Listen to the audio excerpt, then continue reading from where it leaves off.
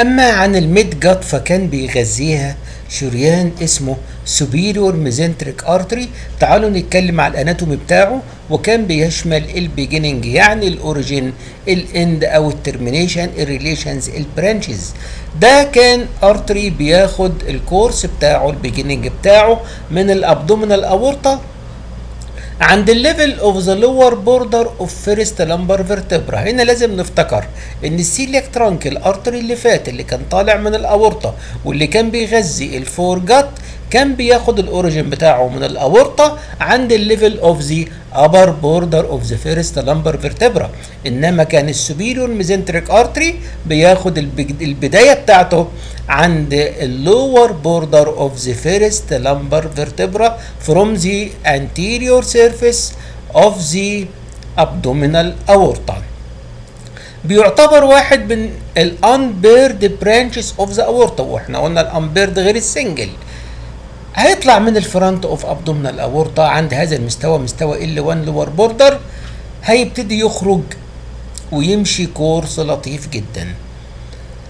الاورطه إحنا عارفين إنه كان قاعد على ال left side of the inferior vena cava ال artery ده وهو طالع في الحقيقة كان طالع محشور بين two veins من فوق كان الليف كان ال splenic vein ومن تحت منه كان ال left renal vein اذا هذا الشريان عند بدايته كان مزنوق بين two veins splenic vein وهو في طريقه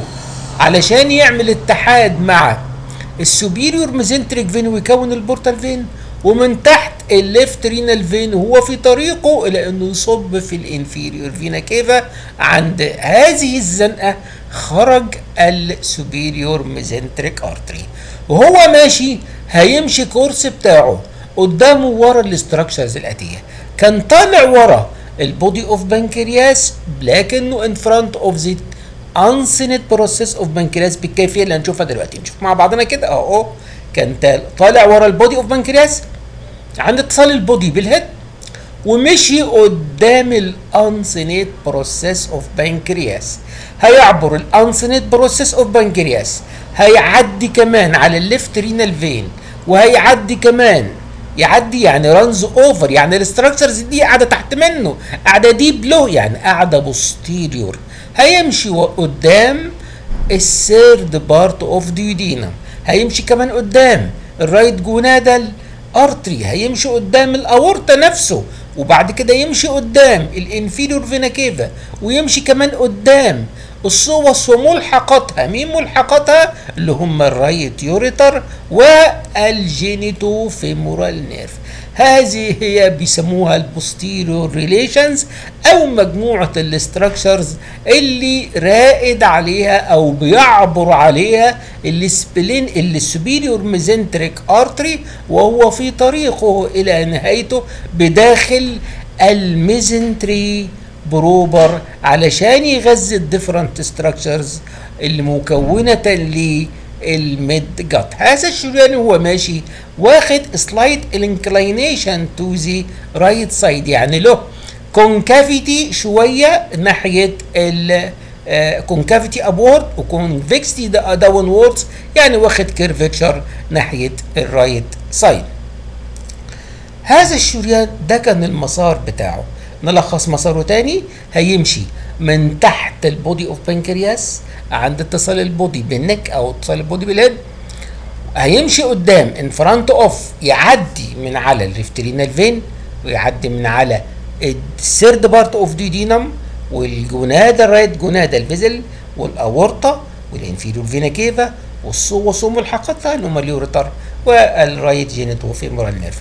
دي كانت المجموعة ال structures اللي بيسموها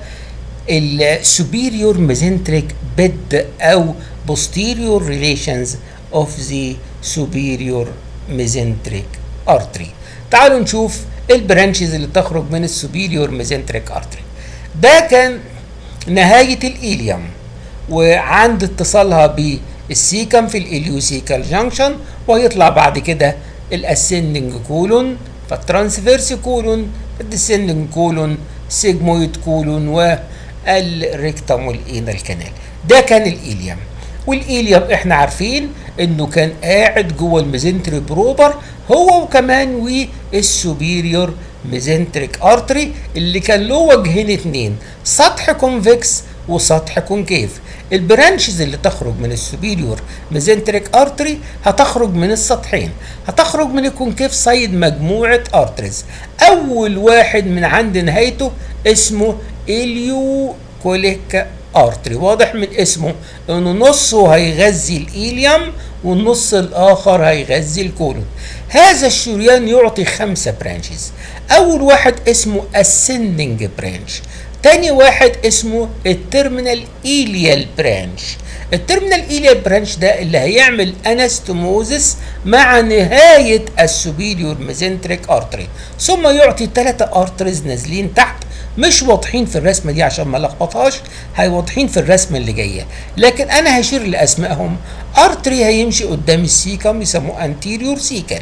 و artery ورا ال cecum اسمه؟ posterior cecal و artery يغذي ال appendix اسمه appendicular artery ثلاثة arteries رايحين ناحية ال cecum واثنين arteries arteries واحد رايح ناحية ال right col ال ascending colon والتاني رايح ناحية ال ileum بالشكل ده أدي خمسة arteries طالعين من ال ileocolic artery اللي هو ال branch الأول من ال superior mesenteric artery اللي بيخرج أو مش الأول هو الأخير في الترتيب ال distal يعني لكن الأول في ترتيبنا إحنا لكنه ال distal artery ال artery اللي بعد كده اسمه right colic artery هيخرج من ال middle concave side of the superior mesenteric artery هيتفرع لفرعين اتنين ascending branch ودescending branch هو ال artery ده وهو ماشي ماشي towards the right side ناحيه ال upper part of the ascending colon وهيتفرع لفرعين اتنين ascending branch ودescending branch descending branch of the right colic هيعمل anastomosis مع ال ascending branch of the ileocolic عند ال عند ال ascending colon طيب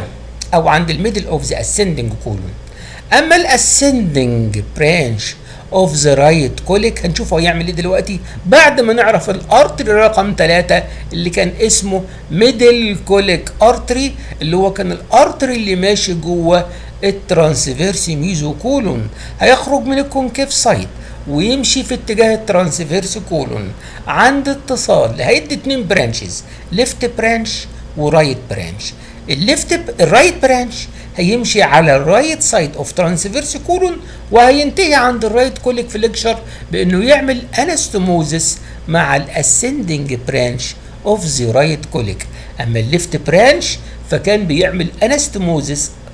آخر عند اتصال ال right two thirds بال left 1 third of the transverse colon. دي كانت ال arteries اللي خارجة من ال concave side بالإضافة ال artery كمان من عند بدايته من هنا هيطلع يمشي في اتجاه ال second part of duodenum في ال groove الفاصل بينه وبين ال head of pancreas واسمه inferior pancreaticoduodenal artery اللي كان هيعمل anastomosis مع ال superior pancreaticoduodenal اللي هو كان أحد ال branches اللي خارجة من ال gastroduodenal artery اكبر شريان كان طالع من ال hepatic artery اللي هو تاني واحد في الترتيب اللي كان خارج من ال celiac trunk كل ده من ال concave side من ال convex side هيخرج عدد 12 إلى 16 arteries طيب قبل ما نتكلم على دول هذا ال anastomosis العجيب between the branches of the superior mesenteric arteries هيخرج منها مجموعة يعني هذا ال anastomosis اولا كان عمل شريان واحد هيمشي على ال margin of the الجزء من ال large intestine اللي بيشمل ال cecum ال ascending colon وال transverse colon كان بيكون الجزء الأكبر من شريان اسمه marginal artery هذا ال marginal artery كان بيدي ال large intestine ودي كانت ال branches من ال marginal artery اللي خرجت من ال superior ال mesenteric. هتطلع عدد من ال arteries كتيرة. هتغذي ال segments of the large intestine اللي related لل midgut هذه الشرايين اللي عاملة زي ورق الشجر عاملة زي فروع الشجر دي اسمها vasa recta يعني the straight arteries آخر مجموعة شرايين خارجة من ال convex side اسمها jejunal and ileal branches يبلغ عددها من 12 إلى 16 وزي ودي اللي كانت بتكون ال arterial system of arcades ال arabesques اللي كانت بتغذي ال jejunum وال ileum اللي اسمها jejunal and ileal arteries بكده خلصت ال branches اللي طلع من ال superior mesenteric artery في منظر آخر منظر طبيعي لل branches اللي خارجة من ال superior mesenteric أدي ال superior mesenteric أهوت وده ال concave side وده ال convex side ده ال jejunum وده كان ال ileum وأدي ال cecum وأدي ال vermiform appendix وأدي ال ascending colon وأدي ال transverse colon وأدي من ال convex side خرجت ال jejunal وال ileal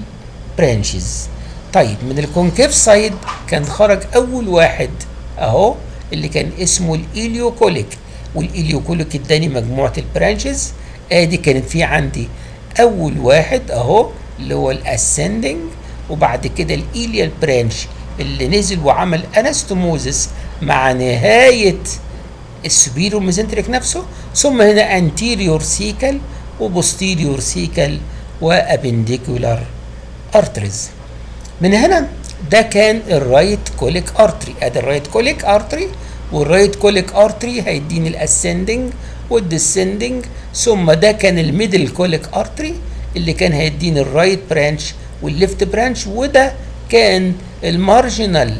artery اللي كان بيطلع ال vasa recta أو ال arteries اهيت اللي بتغذي ال large intestine اللي related لل mid gut. آه وأخيرا آه كان في branch آخر بس ما كانش باين لأنه كان deep شوية اللي هو ال inferior pancreaticoduodenal artery.